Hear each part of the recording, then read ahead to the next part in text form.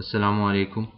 قرآن ترجمہ صورت الانعام، آیات بیالیس تا ستر۔ اور البتہ بھیجے ہم نے بہت سی امتوں کی طرف تم سے پہلے، پھر مبتلا کیا ہم نے ان کو مصائب و عالام میں تاکہ وہ جھک جائیں آجزی سے۔ پھر کیوں نہ جب آئے ان پر بھی سختی، تو جھکے یہ بھی آجزی کے ساتھ، بلکہ سخت ہو گئے ان کے دل اور خوشنما بنا دیے ان کے لیے شیطان نے وہ کام جو یہ کرتے تھے۔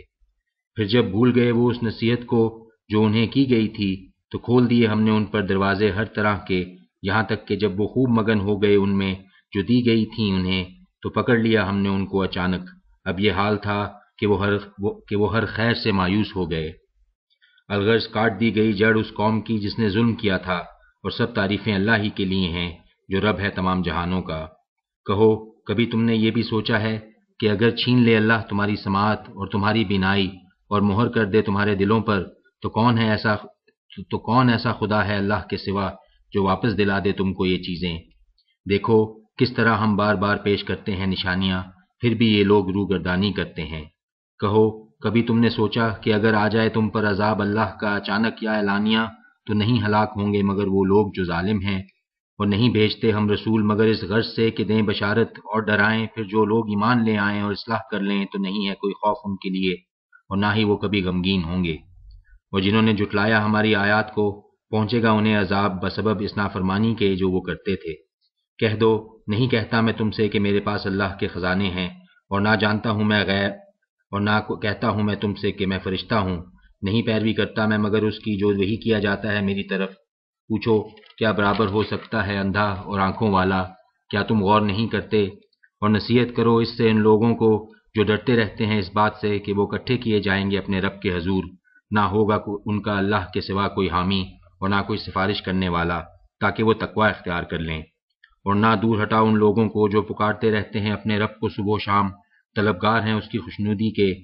نہیں ہے تم پر ان کے حساب میں سے کسی چیز کا اور نہ تمہارے حساب میں سے ان پر کچھ ہے کہ ان کو پرے ہٹاؤ۔ تو ہو جاؤ گے تم ظالموں میں سے۔ دراصل اس طرح آزمائش میں ڈالا ہے ہم نے ان میں سے بعض کو بعض کے ذریعے سے تاکہ کہیں وہ کہ کیا یہی ہیں وہ لوگ کہ فضل و کرم کیا ہے اللہ نے جن پر ہمارے درمیان میں سے؟ کیا نہیں؟ اللہ خوب جاننے والا اپنے شکر گزار بندوں کو۔ اور جب آئیں تمہارے پاس وہ لوگ جو ایمان لاتے ہیں ہماری آیات پر، تو ان سے کہو، سلامتی ہے تم پر، لازم کر لیا ہے تمہارے رب نے اپنی عمر رحم، اپنے اوپر رحمت، کہ جو شخص کرے تم میں سے کوئی برائی، نادانی سے، پھر توبہ کر لے اس کے بعد، اور اصلاح کر لے تو بے شک وہ معاف کرنے والا اور رحم کرنے والا ہے۔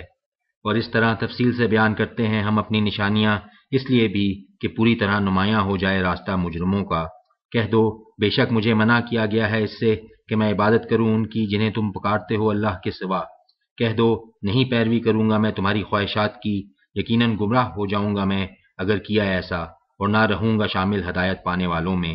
کہہ دو، بے شک میں ہوں ایک روشن دلیل پر اپنے رب کی طرف سے، اور جھٹلا دیا ہے تم نے اس کو۔ نہیں ہے میرے اختیار میں وہ چیز کہ جلدی مچا رہے ہو تم جس کے لیے نہیں ہے فیصلے کا اختیار، مگر صرف اللہ کو بیان کرتا ہے وہ حق بات اور وہی سب سے بہتر فیصلہ کرنے والا ہے۔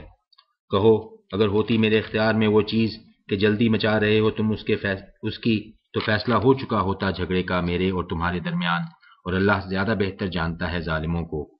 اور اسی کے پاس ہے کنجیاں غیب کی، نہیں جانتا انہیں کوئی سوائے اس کے، اور وہ تو جانتا ہے اسے بھی جو خشکی میں ہے۔ اور جو سمندر میں ہے، اور نہیں جھڑتا کوئی پتا مگر وہ اس کے علم میں ہے، اور نہ کوئی دانہ زمین کی تاریخ پردوں میں، اور نہ کوئی تر، اور نہ کوئی خشک مگر وہ روشن کتاب میں ہے۔ اور وہی ہے جو روح قبض کر لیتا ہے تمہاری رات کے وقت، اور جانتا ہے وہ امور جو کرتے ہو تم دن میں، پھر اٹھا کر کھڑا کرتا ہے تمہیں دن میں، تاکہ پوری ہو مقرر مدت۔ پھر اسی کی طرف لوٹنا ہے تمہیں، پھر بتاوے گا تمہیں وہ جو تم کرتے رہے ہو۔ اور وہی پوری قدرت رکھتا ہے اپنے بندوں پر وہ بیچتا ہے تم پر نگرانی کرنے والے، یہاں تک کہ جب آ جاتی ہے تم میں سے کسی کی موت، تو قبض کر لیتے ہیں اس کی روح ہمارے فرشتے، اور وہ کوتا ہی نہیں کرتے۔ پھر لوٹائے جائیں گے سب اللہ کی طرف، جو مالک ہے ان کا حقیقی خبردار ہو جاؤ، اسی کو حاصل ہیں فیصلے کے سارے اختیارات، اور وہ بہت تیز ہے حساب لینے میں۔ پوچھو، کون بچاتا ہے تم کو صحرا اور سمندر کی تاریکیوں سے، جب تم پکارتے ہو اس کو گڑ گڑا کر اور چپکے چپکے کہ اگر بچا لے وہ ہم کو اس بلا سے، تو ہم ضرور ہوں گے شکر گزار۔ کہہ دو، اللہ ہی نجات دیتا ہے تم کو اس سے، اور ہر تکلیف سے پھر بھی تم شک کرتے ہو۔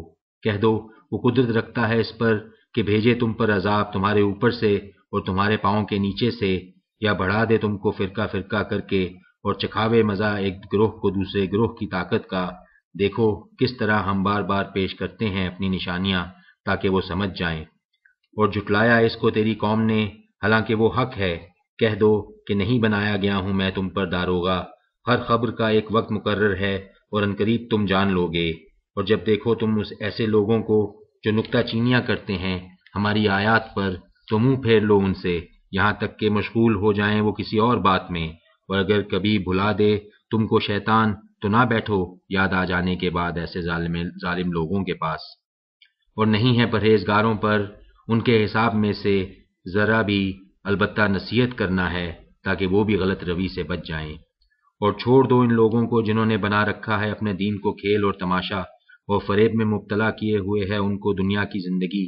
ہاں مگر نصیحت کرتے رہو ان کو یہ قرآن سنا کر تاکہ گرفتار ہو جائے کوئی شخص اپنے کرتوتوں کے وبال میں کہ نہ ہو اس کو اللہ کے سوا کوئی دوست اور نہ کوئی سفارش کرنے والا۔ اور اگر فدیہ میں دے وہ ہر قسم کا معاوضہ تو قبول نہ کیا جائے اس سے۔ یہی لوگ ہیں جو پکڑے گئے ہیں اپنی کمائی کے نتیجہ میں، ان کے لیے ہے پینے کا کھولتا ہوا پانی اور دردناک عذاب بدلے میں اس انکار حق کے جو وہ کرتے تھے۔